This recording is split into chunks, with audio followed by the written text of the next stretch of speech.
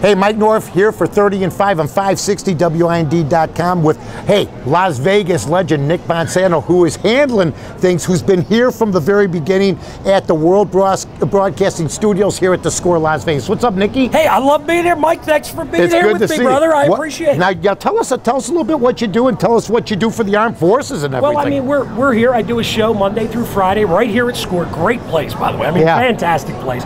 Do a show here at Score, three hours a day, uh, 3 to 6 Pacific, 6 to 9 Eastern. Uh, let me do the Central Time. That's 5 to 8. I, Is it, is did it I like get that right? you did? Is it like a guys a show, a Well, guys yeah, type have- of thing, yeah, we sports? guys show. We invite women, though. Oh, of course, and we just Usually saw. if they're in bikinis. I just saw one of my, and we just saw one. I just saw my idol Oscar Goodman here from Yeah. Casino with two showgirls, and you're right. They're walking around. It's like a, a little chilly You outside. saw she said to me, I didn't, you know, you didn't recognize me in this. You see, because I have some clout. The gals over at Fantasy right next door, they love me. They come every no, they- I heard you, the Vitality Bar Yeah, she girls. loves me. Yeah, you know what? She says, "Come on, get some oxygen. You'll feel like you're 55 again." I go, I go. Thank you very much. Yeah, Man, are you that old? I'm older. Hey, Oh, God. 30 and 5, Nicky Bonsetto. Come see him here at uh, the Scores uh, Studios in uh, the Hall of Fame in Las Vegas.